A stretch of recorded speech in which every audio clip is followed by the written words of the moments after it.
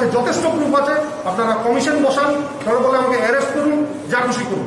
কিন্তু মিথ্যা বার্তা পাবলিক মানে জনসাধারণের কাছে দেবেন না জনসাধারণ এটা সহ্য করবে না কিন্তু। জনসাধারণ সহ্য করবে না। সোশ্যাল মিডিয়াতে কয়েকটা পিকচার আপনি ডাকলেন পরক্ষণ স্যার ডাকলেন আমি গেলাম কাজ করে দিলাম এরপরে আমার নামে এত উৎসাহ তো সেটা কি করব? বলছে তোমার কাছে আছে আমার কাছে তো আমার আছে। আপনার বলতে আমি সিএম সাহেবকে উনি মেসেজ করেছেন যাতে অথরিটি উনি উনি তো লিভারটা was not in appropriate position যেখানে থাকা উচিত।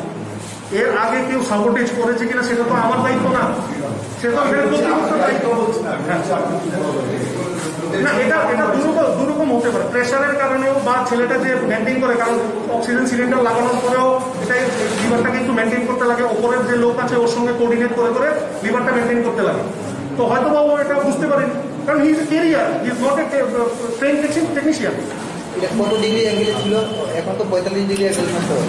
ডিগ্রি না এটা বলে পিএসআই মানে কত ডিগ্রি ছিল আপনি যখন মানে নিচে নিচের প্রেশার ঠিক ছিল। এবার নিচের প্রেশারটা হয় কি লিভারটা যখন আপনি ছাড়ছেন তার মানে নিচের প্রেশারটা প্রেশার মিটার তারপরে লিভার তারপরে উপরে লাইনে যাচ্ছে। এই লিভারটা যদি ঠিকঠাকভাবে ম্যানেজ না হয় তাহলে উপরে কিন্তু অক্সিজেন পড়বে একজন মানে নেতাকে মানে কি বলব কালিমালিপ্ত বা ইয়ে করার জন্য একটা নোংরা রকমের রাজনীতি আমাকে নিয়ে খেলা, খেলার চেষ্টা হচ্ছে।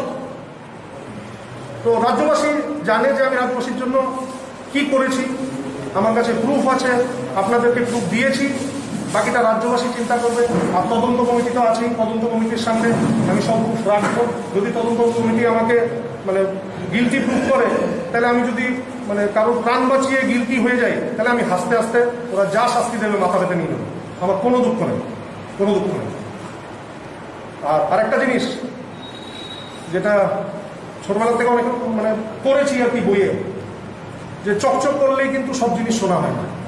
All that glitters is not always gold so রাজ্যবাসী যাতে এটা বোঝে, আর আপনারা যারা আমাকে এরকমভাবে মানে নিচা দেখানোর জন্য প্রেস কনফারেন্স করে বলছেন, নিজেদের হয়তোবা আপনাদের আধিকারিকদের পিঠ বাঁচানোর জন্য, সুতরাং রাজ্যবাসী জানে, রাজ্যবাসী বুঝে গেছে সব। আর রাজ্যবাসীর কাছে এটাই শুধু বলব যে, আজকে পত্রিকায় দেখলাম সকালবেলা সাংবাদিক একজন খুব মার খেলেন, কেন উনি প্রতিবাদ করেছিলেন? তা আমি আজকে আমার প্রতি যে অন্যায়টা হয়েছে সেটার প্রতিবাদ জানাচ্ছি। আমার আমি যাতে সেফ থাকি, আমার ফ্যামিলি যাতে সেফ থাকে আপনারা দয়া করে আমাকে একটু হেল্প করবেন আর কিছু বলতে চাই না? আপনাদের যদি কোনো প্রশ্ন থাকে, আপনারা আমাকে জিজ্ঞেস করতে পারেন, আমি সেটার সঠিক উত্তর দেবো। এটা করেছি। বেনিফোল রুটটা চেক করলাম। চেক করে সেদিন দেখলাম যে ইলেকট্রনিক মিটার একটা আছে, যেটাতে four point five bar four bar এরকম দেখায়। মিটারটা খারাপ। আমি বললাম, ও, ঢুকে দিক কোনো অপারেটরই নেই। এটা মতো ভিডিও ফুটেজ আপনাদের কাছেও আছে। কোনো অপারেটর এখানে নেই। এইবার পরে জানতে পারলাম অপারেটররা এখানে রাত্রে যে নাইট ডিউটি দেয়, রাত্রে যে নাইট ডিউটি দেয়, ওরা হচ্ছে কেরিং পার্সন মানে যারা সিলিন্ডার ক্যারি করে।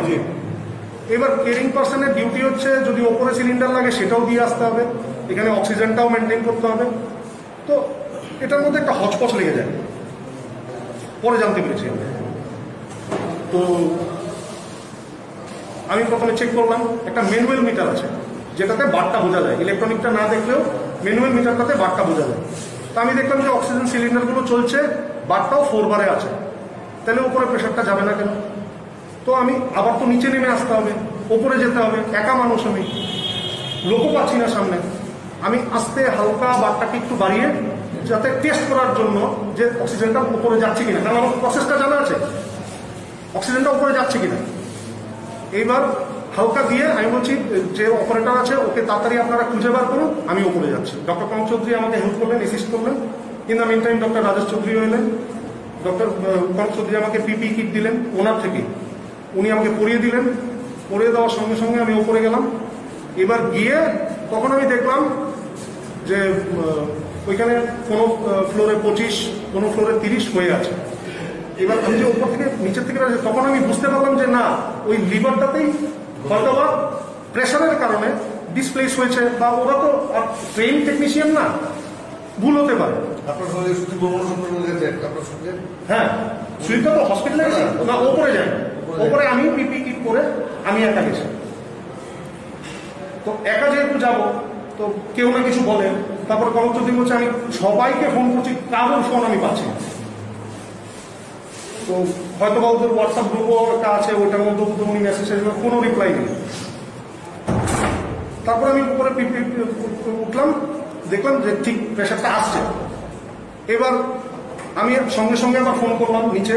আমি বলছি অপারেটার এসছে কিনা? বলছে হ্যাঁ হ্যাঁ এসছে অপারেটার এসছে। বলছি, ওকে ফোনটা দিন। তো সঙ্গে সঙ্গে ওকে ফোন আমি দুই হাজার নয় দশ সাল থেকেই মানে যখনই ওনারা ডাকছেন যে আমাদের এই প্রবলেম এই মেশিনের প্রবলেম কারণ ওইখানে তো কোনো টেকনিক্যাল এক্সপার্ট নেই। প্রত্যেকবারই কি মৌখিকভাবে ডাকা হয় না কোনোবার? মানে ডাকে একটা ওয়ার্ক অর্ডার দেয় কাজটা করি। আমার যে মিনিমাম পারিশ্রমিক সেটা আমি নিই। কিন্তু কোভিড সিচুয়েশনে আমি এক পয়সাও নিইনি কারণ তাও বলছেন যে আমি নাকি চাকরির জন্য করছি। এই কাজটা করার জন্য কি হাসপাতালে আর কোনো লোক নেই? আর কোনো লোক নেই। পুরো হেলথ ডিপার্টমেন্টের কোনো লোক নেই। তারপরে? লাস্ট কবে ছিল? লাস্ট ছিলই না। কোনোদিনই ছিল কখনোই ছিল কখনোই ছিল তো নামে নামে যে লোকটা ছিল তার এগিয়ে না এবার নামে যে লোকটা বলছি উনি যে বলেছেন যে আমাদের টেকনিক্যাল এক্সপার্ট টিম লক্ষ্য করছে দেখছে সেই টেকনিক্যাল এক্সপার্ট টিমের কাগজ আপনাদেরকে দিয়েছি। He is not at all qualified for the post he is holding and he is a diploma in mechanical O MTech করেছে বিটেক করেছে ডিস্টেন্সে যেটা সুপ্রিম কোর্ট ক্যান্সেল করে দিয়েছে। বিটেক এমটেক প্র্যাকটিক্যাল এক্সপিরিয়েন্স ছাড়া হয় না। প্র্যাকটিক্যাল করা ছাড়া হয় না ডিস্টেন্সে হয় না। সেটা নেতাদের বুঝতে হবে। সেটা নেতা নেতারা বুঝতে পারছেন না। আজ থেকে পাঁচ বছর আগে ওই যে বলতে নো রিপ্লাই উনি হয়তো বা বাধ্য হয়ে গেছেন বাধ্য হয়ে আমাকে ফোন করেছেন, উনি বুঝতে পেরেছেন যে ওকে বাবা চোখে হয়তো বলেছিল রাতুলকে আমি ফোন করেছি।